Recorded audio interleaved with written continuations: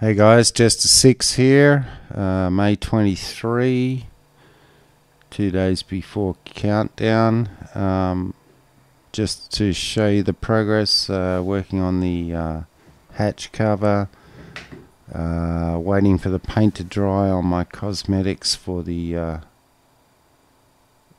mainsail fairlead and the winch cover, and uh, working on the um, seal for the um, um, rudder um, there.